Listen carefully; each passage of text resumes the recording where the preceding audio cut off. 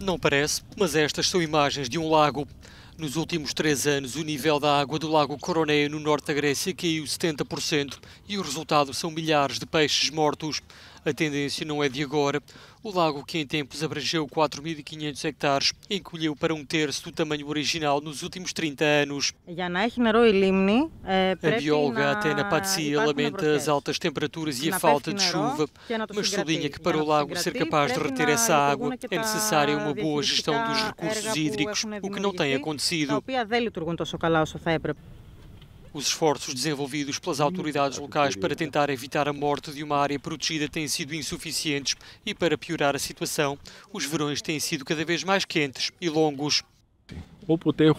Quando falta a chuva, os níveis de água baixam e nessas condições desenvolvem-se alguns tipos de algas que produzem biotoxinas.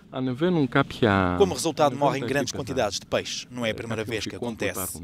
Estamos a recolher amostras de água e peixe para determinar os níveis de oxigênio e biotoxinas.